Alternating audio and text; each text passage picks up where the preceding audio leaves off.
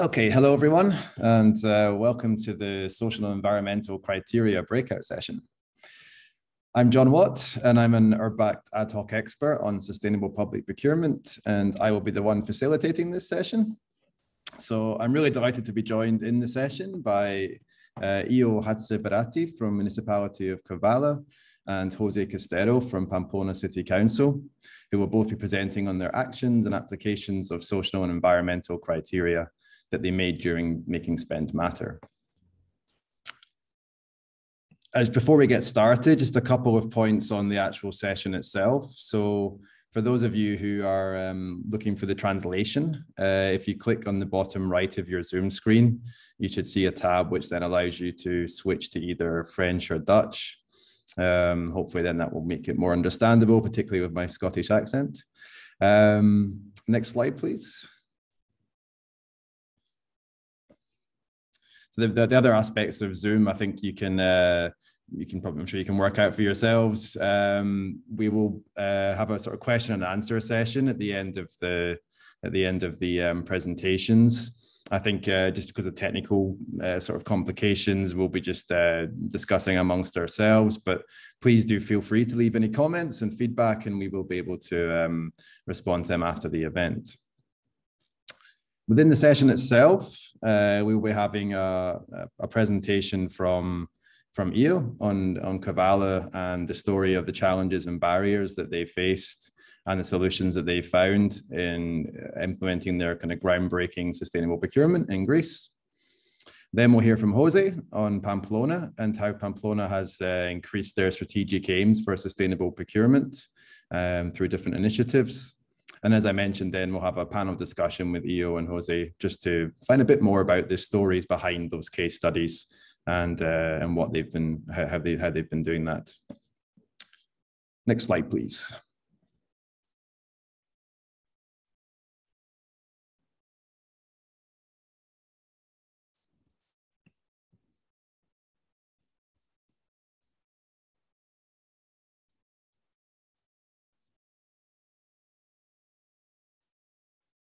I think we're having a few technical issues with the slides, but I'll I'll continue for now anyway. Um, uh, so just to give you a really just a reminder really about the um, why we are focusing on social and environmental criteria as part of making spend matter.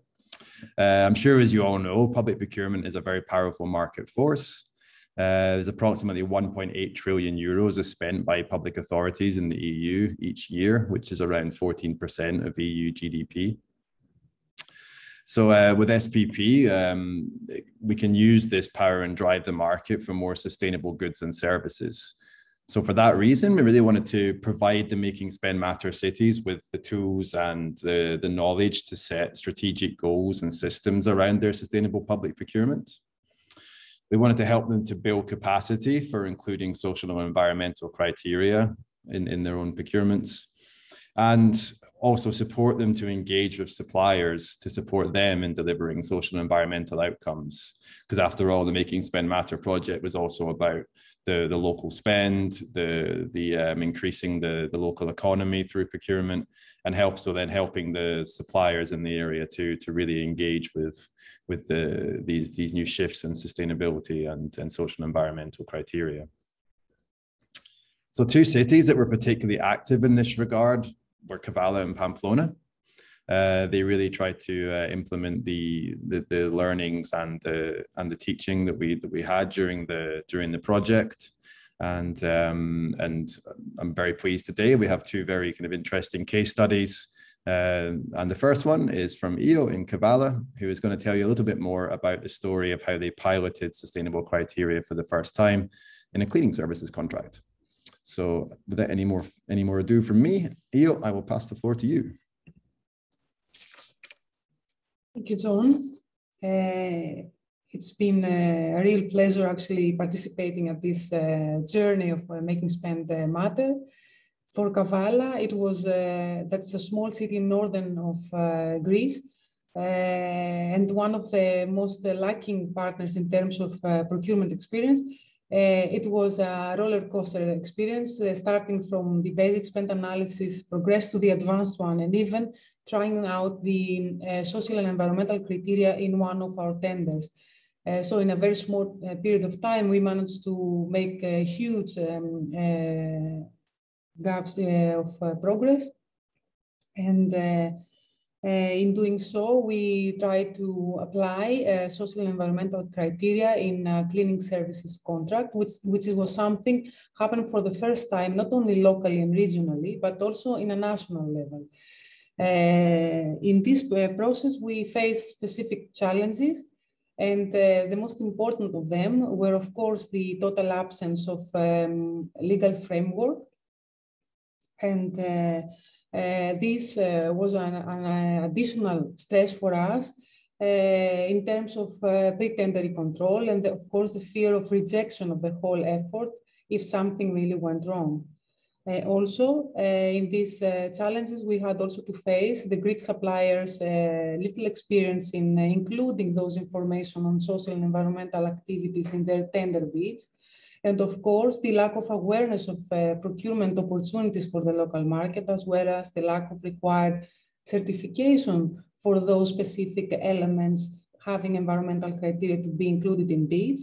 And uh, the procurement um, logic and mentality that until then was emphasizing on price, uh, on low price and decision-making process, and the long payment terms of uh, those contracts uh, constricting uh, local SMEs from participating in that, since uh, most of the times, by the, the, time of the offering of the goods until the time they actually get paid, is several months in between, which makes uh, very uh, difficult for a small uh, SME to sustain this, um, this time limit.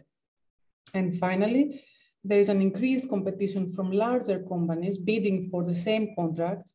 And this became particularly intense during the COVID era, uh, where we have uh, all, our, all our tenders being announced digitally and having uh, larger companies uh, bidding for, for these uh, specific um, contracts, ex excluding, of course, our local market. next slide, please. For each and every one of these challenges, we decided to develop tailor-made solutions. So uh, we organized several meetings internally and externally, engaging as, uh, as many people as possible to um, collect all the possible knowledge in the field we can gain. Also, we researched in detail and we identified the different types of criteria suitable for a cleaning material standard. And we cross-check the availability of the products bearing these criteria at the local market. So we make sure that our local SMEs will be definitely be bidding. Uh, moreover, we opened up the discussion with the local suppliers and discussed the tender conditions uh, with them. And in, in, in fact, we co-designed the tender with them. Um, moreover, we supported them with training seminars uh, in order to facilitate their um, uh, tendering uh, files. Finally, we acknowledge the difficulty of the whole effort and we decided to be bold and try it out. In result, the criteria identified and applied at the tender were the 0% plastics in all materials supplied, all materials should be recyclable, and of course, 1% of the value of the procurement to be contributed to social initiatives indicated by the municipality. By the end of the effort, we managed to publish a half a million tender on cleaning material, which was also published at the uh, European Union newspaper and uh, we managed to have eight bidders. Four of, four of them uh, were local, local SMEs. None of them was excluded due to um, uh, supporting documents, which means that we did a great job training our local uh, suppliers. And uh, four of them, four of the eight were local suppliers, and one contract is finally being signed, and it will be a two uh, biannual one. So we'll have a tender, uh, we will have a contractor for two years. So we're very happy that we came all the way through and we succeeded into concluding this effort, which from, this, from the first, uh, it wasn't so promising. So thank you so much. Thanks very much, Io. And um, just a little snapshot there of, uh, of a great story where this is the first time that Kavala or any of their suppliers has has, uh, has seen or, or used any social and environmental criteria. So a really fantastic story of how the, the groundwork was put in to make sure that was a successful tender process. We'll dig a bit deeper into that just uh, just after Jose's presentation and uh, find out a bit more from you about those success factors. Um, so on to Jose from Pamplona, who've also been uh, doing their own work on social and environmental criteria. So Jose, I will pass the floor to you. Thank you, John, and good morning, everyone. Well, um, Pamplona City Council had already implemented the use of environmental criteria in some of its procurements between 2008 and 2018 thanks to an internal guide on the subject produced in 2005 and a regional law formalizing their use in 2008. Nevertheless, uh, incorporating social criteria into procurements was still a new concept. In 2018, a new regional procurement law was approved. It makes social value a mandatory 10% of selection criteria which changed the goalposts and meant the city and its anchor institutions needed to understand better how to include social criteria going forward. So when we knew about the Preston's good practice about strategic public procurement, we were really interested in transferring it and especially work within the network to progress in the field of social and environmental criteria. During these years of experience, Pamplona City Council has faced a number of barriers and challenges in realizing their goals about social and environmental criteria in public procurement. First, the lack of a dedicated team or unit specialized in public procurement. The tasks in public procurement processes are spread into a variety of professional profiles. Every one of the 12 different departments manage its own procurement processes. Second, the lack of knowledge of the staff making the tendering documents about social and environmental issues and how they can be addressed properly. Third, the lack of a framework or strategy around procurement and the outcomes that Pamplona City Council wants to achieve. And fourth, in some cases, public servants are reluctant and unwilling to change the way they procure. Some public servants, they still think that price must be the only selection criteria as it makes procurement an easier process. Next slide, please. Regarding the solutions applied, in 2019, the city produced an instruction and guide about strategic and socially responsible public procurement. The guidance includes support for procurement staff on objectives and principles of strategic public procurement in Pamplona, internal rules for how to manage it, and how to include social and environmental criteria throughout the entire procurement process. The guidance also provides the staff in Pamplona with examples of social and environmental criteria, backed up with legal text in order to show what is possible and reduce perceptions of risk. Indicators of social and environmental criteria and an evaluation of, and monitoring system with verification suggestions also further provide procurers in Pamplona with the tools to make it happen. So in our city, three things work very well. The guide is really re ready to use and gives specific examples of social criteria and how to assess and evaluate them. Also from 2018, it is mandatory by law to include social uh, or environmental criteria. Before it was only an option. And this makes that public servants make the effort to introduce social criteria in procurement processes. Besides, once the guide was approved, it was explained in training workshops to public servants of the different municipal departments.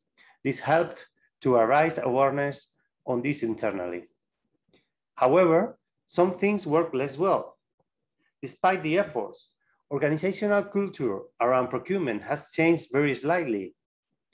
Also, too strong political leaderships around social responsible procurement can put at risk the progress if a political change happens. And finally, monitoring of impact is still the unfinished business of social responsible procurement.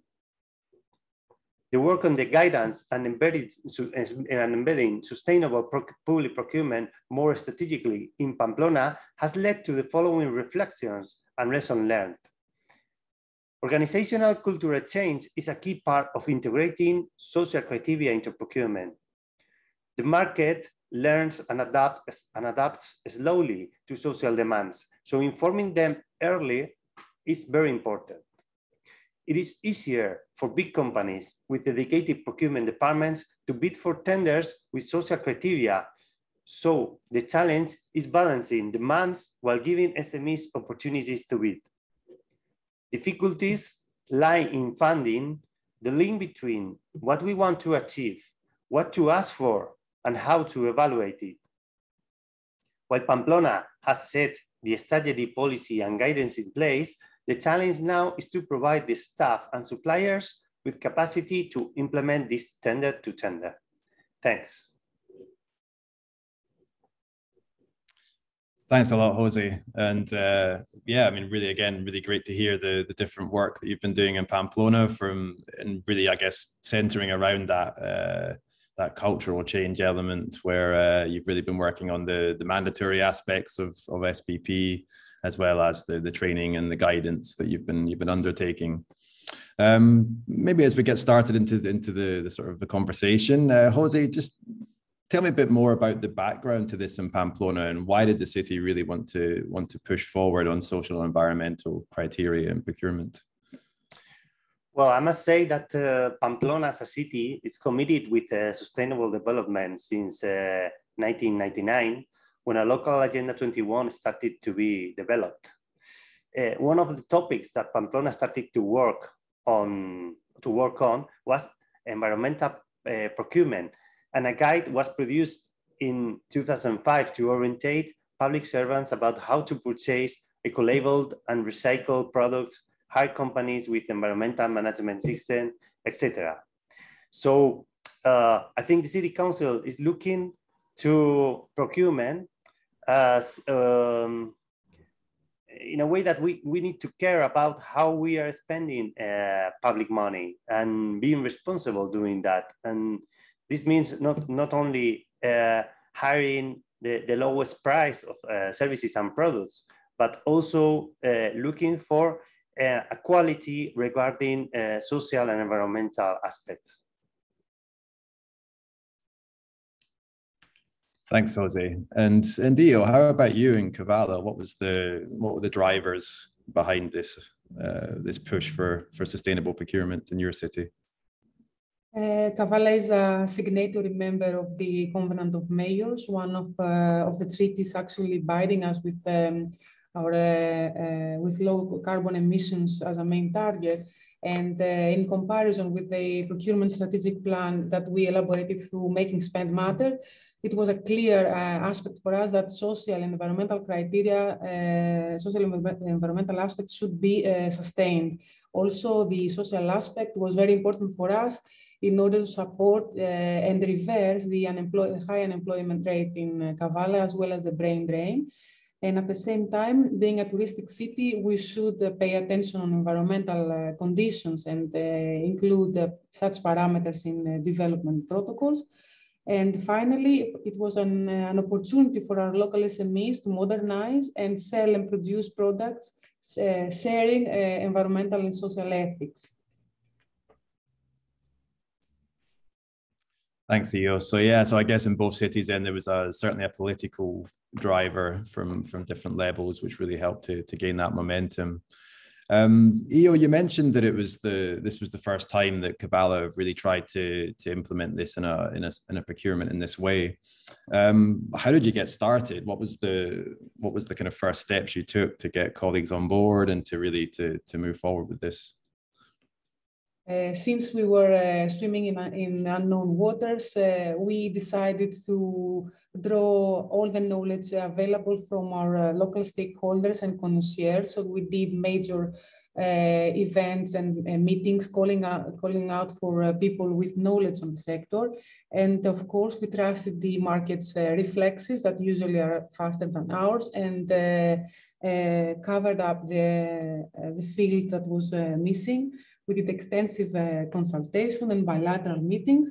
And of course, we had the guidance from the lead partner that did uh, targeted meetings with us. And uh, having as a prototype the Pamplona as example, we knew that the uh, that the effort could be succeeded and we knew where we wanted to arrive actually. Uh, and more than that, we used uh, all the communication tools available to raise awareness on our effort and uh, uh, therefore uh, call for people that could actually help us through that. Okay, so yeah, so really effectively using that the network that was generated from the project as well as other sources. Um, Jose, you were a prototype in Pamplona. Um, but obviously you've already you were already a little bit more advanced in, in working on social and environmental procurement already but uh, perhaps just thinking back to the beginning of making spend matter where, did you where did you sort of start from with that work in improving the the guidance and, and making this mandatory yeah well um, for us uh, it happened at the same time that the, the, the law the regional law was approved and also we started to work in this uh, transfer network. So um, it was very, very, very good to have uh, both things at the same time. So uh, we started to, to make first the, the spend analysis and yes, look to the, um, to the figures uh, of our procurement. And also uh, we started to work on this uh, instruction and guide because um, one of the main uh, barriers uh, to introducing the social clauses and, and, environmental criteria in procurement was that uh, uh public servants many times they don't know how to integrate uh, uh, this in the tendering documents. And also because there was some kind of um, optional approach to introduce them. So uh, the approval of, of, this instruction and this guide uh, has supposed a big improvement because now uh, with the regional uh, law in place and instruction, internal instruction and guide, uh, now it is mandatory for, for all the departments and public servants to, to introduce uh, social and environmental criteria in, in the tendering processes. So you mentioned then, so there's obviously been a various number of of methods that you've used together with with the legislation, with the guidance, and, and other aspects that you've you've brought in. But thinking back, which which of those tools or techniques that you've been you've been working on have have worked well, and perhaps which ones have worked less well, and why? Yeah, well, I must say that the the, the guide uh, and the instruction uh, really uh, very well because it, it, includes not only uh, specific examples of uh, social and environmental clauses to introduce in the tendering documents, but also uh, it uh, um, it uh, has designed and gives specific examples of the documents that the provider must um, present to the city council to demonstrate that they are going to comply with the um, social and environmental criteria. And also it includes a monitoring systems. And uh, this is one of the key aspects of uh, uh, social and environmental uh, criteria in procurement from my point of view. Uh, this has worked uh, really well. And also the training sessions that we have made internally with all the staff of the city council so they they uh, are able now to know better how to introduce uh, these criteria in the procurement processes. And uh, regarding what worked um, less well, I must say that, um, well, uh, monitoring uh, needs uh, to be improved uh, still. So sometimes it is easy to introduce social and environmental criteria to have providers uh, uh, that uh, include include social criteria in their bids. But then there is a necessity to, to follow up uh, in the implementation of the contract, in the development of the contract, that they are uh, um, introducing these uh, commitments in their, in their work. And this is still something that we need to work on. Thanks, Jose. Yeah, I think uh, I think most public authorities still find the monitoring side of of uh, of social environmental criteria particularly difficult, with obviously with resources and and uh, other factors. Um, so yeah, it's, it's obviously um, a, an area that I think everyone is still working on.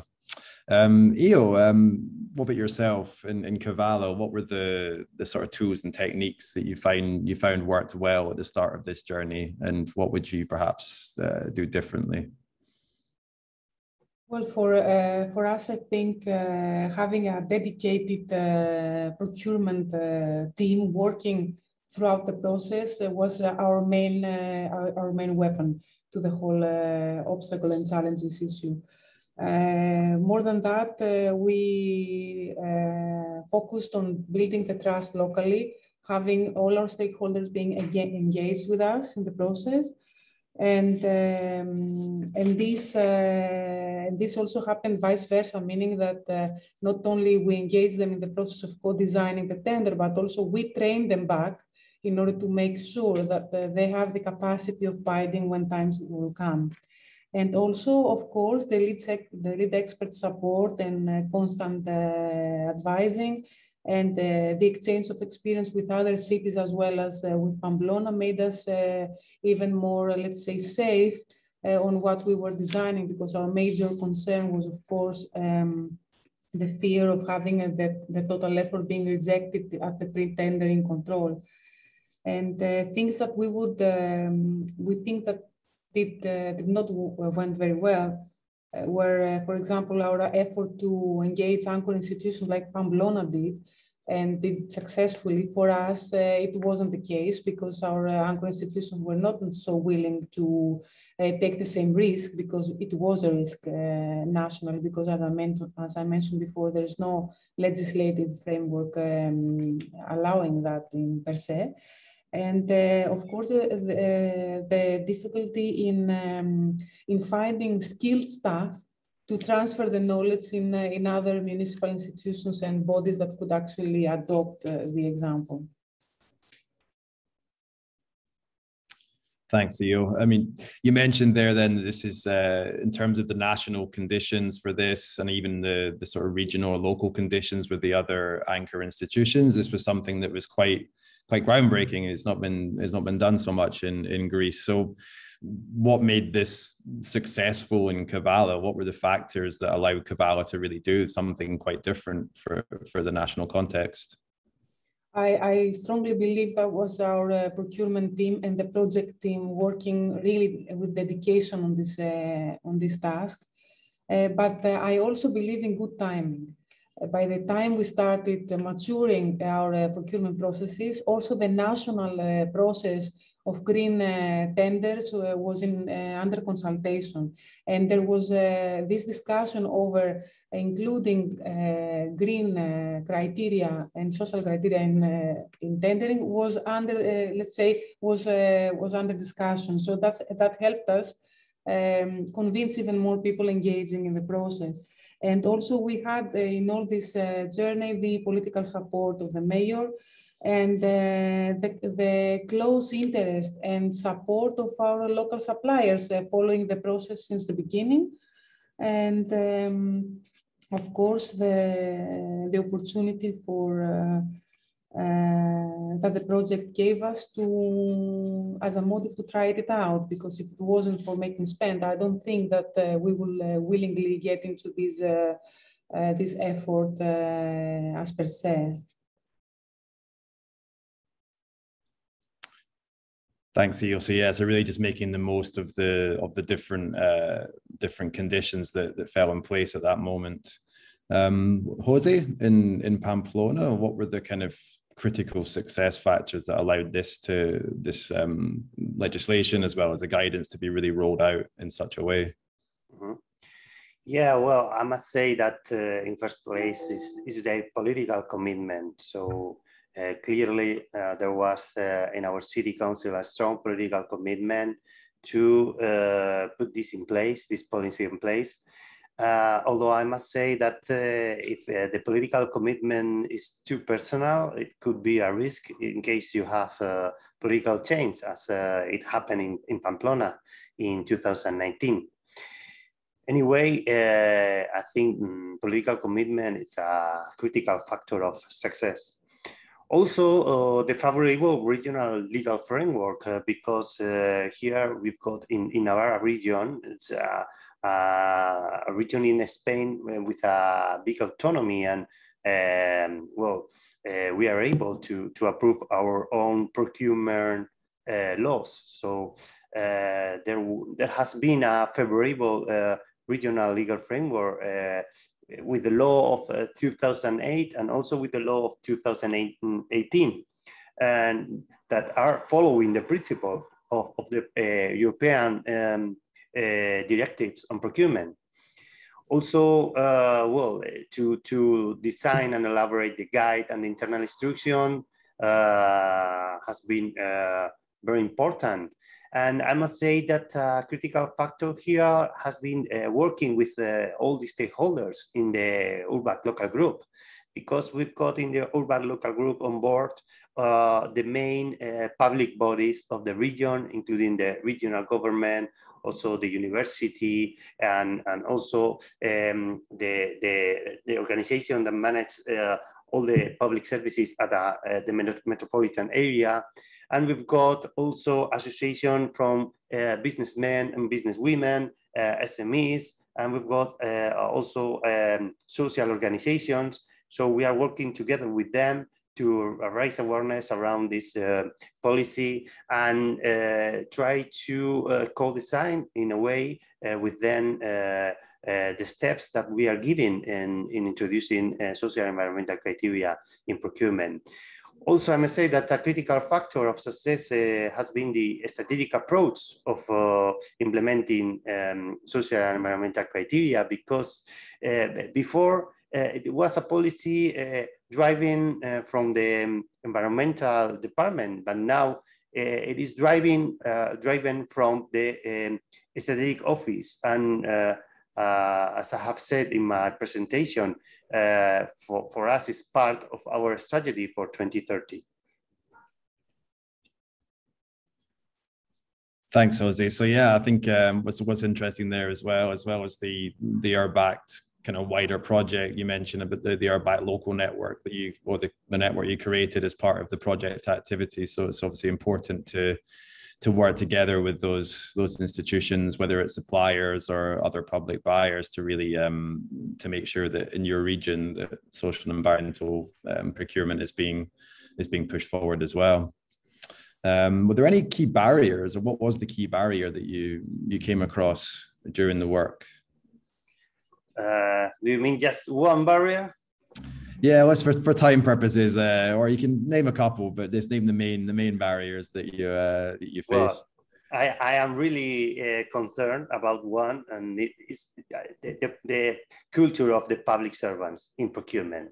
So uh, yeah, for me, it's very important that uh, uh, we are trying to change public policies, but the still the, the, people is the same. So we've got uh, public servants that has been uh, working for 30 years and they have been doing the, the things the same. And it's very difficult that they change uh, the way that they are doing things. So uh, when we're trying to introduce a change in procurement, uh, we are facing uh, so many barriers on this. So this is something that we have uh, to have to keep in mind. Thanks, Jose. And uh, and Io, is there any particular key barrier that you faced when you were piloting your social and environmental criteria? Uh, of course, uh, it was, as I mentioned before, the absence of a very concrete uh, legal uh, framework allowing us uh, insecurity to apply such criteria. And especially we were worried about the social value uh, index that we applied, uh, done for the first time nationally and being uh, uh, afraid of being rejected at the pre-tender control. Uh, of course, um, it, there was a huge difficulty identifying those environmental criteria uh, because there wasn't any prior experience in that. So we have to describe each and one of every of every product included in these um, in this uh, procurement. Uh, uh, so it was a, a vast uh, work to be done. And we also have to cross-check that those material and those certification of, of those products were available locally and nationally. And uh, above all, all, the above, all the, the mentioned before, it was the COVID-19 restrictions uh, restricting a lot our working patterns and uh, the way we communicated with our uh, local um, SMEs and stakeholders, uh, delaying importantly the following up of every stage of the tender and of course uh, being restricted to solely digital meetings and uh, following up uh, of written do documents instead of actually being able to discuss in detail elements of the process. And far, further if, and for most of course the low capacity of the business community that we have to train in advance uh, in order to make sure that they will have the ability to tender one time, to bid when, uh, when the tender was launched. Yeah, so I mean, a lot of works and time spent making sure suppliers were were aware of of the plans that you had. What was what was the reaction in general from suppliers when you when you first mentioned the social environmental possibility for criteria? Because you, you said it's the first time this has been done in your region. First time we invited them at the city hall to discuss with them uh, what we were intending to do. Uh, all of them were skeptical. They thought that there was a motive behind the, uh, the initiative, that we wanted to ask for something more, and that there will be hidden agendas behind the process, which was very funny. We had then to, as I mentioned before, build a trust between us and start working uh, more in, uh, in detail with them. And after they realized the whole concept, they were very enthusiastic. And uh, more than that, they were the ones actually to propose a social index that we didn't really have in mind at the beginning of the process. Uh, so we were very happy to see them offering back to uh, cross-checking for us, uh, uh reviewing documents, uh, asking, knowing, uh, exchanging emails, following the process. It was very inspiring. And I think having uh, now succeeded in the process and uh, gaining their, their trust that we indeed followed our um, promises to them. I think that this uh, builds an excellent uh, relationship to be invested in even more projects and even uh, new agendas. Thanks, Theo. So yeah, so really, the really building that trust was was an important part from both sides, I guess, on on that process. Um, just to wrap up in the next few minutes of the of the conversation, um, Jose, if if you were to do this all over again from uh, from from Pamplona's perspective, what would you do differently? Well, for me, uh, well, in my opinion, I think we've got a weakness in, in Pamplona regarding that uh, we don't have a dedicated unit or department uh, uh, in procurement. So every municipal department is uh, making and designing their procurement processes. And I think this is uh, something that uh, make it, make it more difficult to, to implement this kind of policies. So uh, if we will start the will start again, uh, well, uh, I, I will create this this unit, and, and it's a project that uh, uh, has been in, in the agenda for the last 15 years in the city council. But as I said before, as I said before, uh, changes are very difficult to to become a reality in, in public organizations. So, uh, well, I wish that uh, we will have it soon. Thanks, Jose. Yeah, so that kind of central-led sort of procurement team would be a really good way to to strengthen the the uh, social and environmental approaches throughout the whole throughout the whole uh, organization. What about Io? Uh, if you were to do this again from the beginning with your pilot procurement, is there anything you would have done differently? Uh, I think that uh, we will uh, gain the credibility of the local stakeholders by, by involving them since the beginning to the process, meaning from the very first technical meeting, we would have invited them to hear the examples of uh, Preston and the rest of the partnership in order to see that these are feasible and how they were um, developed. so as to have also the same knowledge base from the beginning. And uh, we would have uh, definitely tried to be even more um, uh, consequent in our following up reports, uh, try to make sure that uh, they understand that how the input they're providing to us is being invested in the project and what results does it bring to the process. And leading on from that, finally, in a perfect world, Io, what would procurement look like in Kavala in terms of sustainable outcomes? Through making spend pro, uh, matter, we, had, we really understood the social value that each public tender includes. So I think that uh, this revelation for us made it really clear that uh, an ideal uh, um, world would be uh, where the procurements will be um, a bottom-up process being, defi being defined. Uh, the local community would indicate uh, the immediate needs needs to be covered and these tenders will be prioritized. And uh, we, I would be very much uh, happy if we could even have a, a participatory budget activities or uh, uh even uh, the, pro, the possibility to overcome uh, legislative barriers and respond to immediate needs, especially on occasions like the COVID, like climate change effects and extreme event, weather events that we face more and more lately. Uh, so are flexible and able to respond to immediate uh, needs, um, procurement board would be the, an ideal for us. Thanks, CEO. And, uh, and Jose, just a, a, final question to you. What would what would procurement look like in a perfect world in, in Pamplona?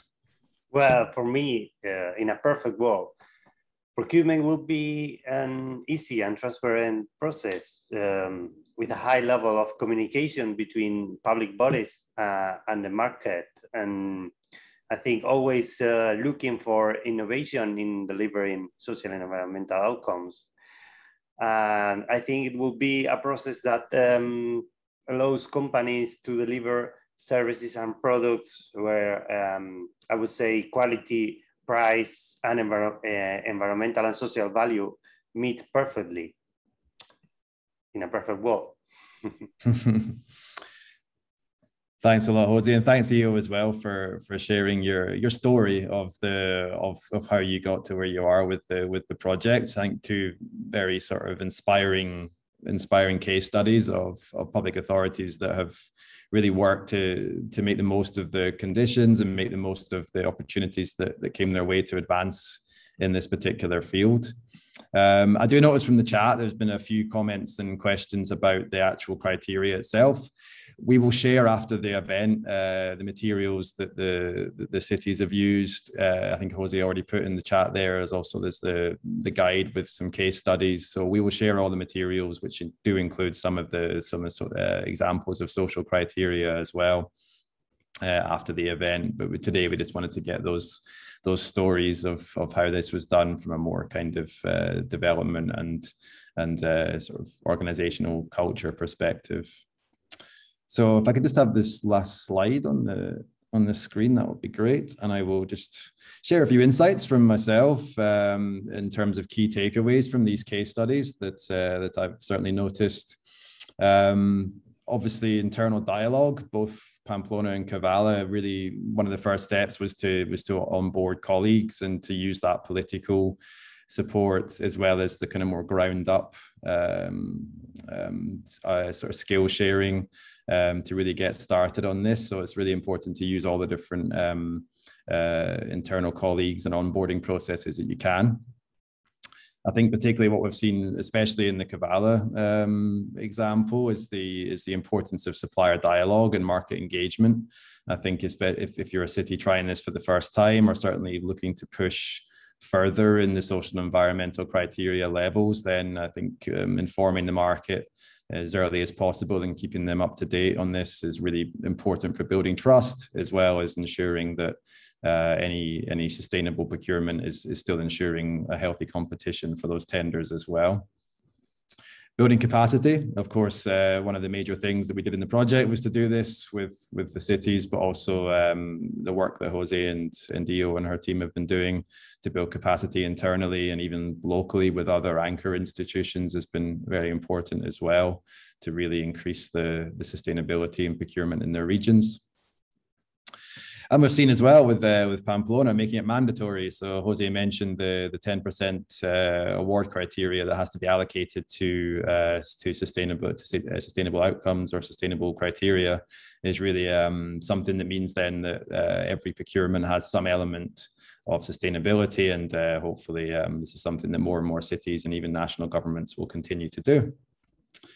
And then wrapping it all up, really, just that is, I think, one of the main parts of uh, of these case studies has been that organ- organizational culture change. So really, um, uh, onboarding as many people, and particularly in the case of of these cities where they've really um, tried to do things a bit differently, is being bold and just embracing the risk. Uh, there is some risk involved when starting this. Um, it's, it's new territory for many cities, but I think as both internally and externally with with all the stakeholders involved, then this can be a very successful, uh, very early, um, uh, sort of early successful uh, process that can happen. So as I say, uh, we will be uh, um, sharing the materials uh, as, as much as we can after the after the event with everyone, so you have a bit more depth on the on the actual criteria and other side of these case studies but for now, I'd like to thank you all for your attention and for for, for being here to to share in these stories. And um, yeah, really, um, hopefully you're looking forward to the final panel presentation as well, which will uh, will take place at actually twelve ten. Uh, not 12 o'clock, uh, as seen on the screen there. We're running about 10 minutes behind schedule. Uh, the Vimeo link to the final panel session will be in the email that you should have received on the 19th.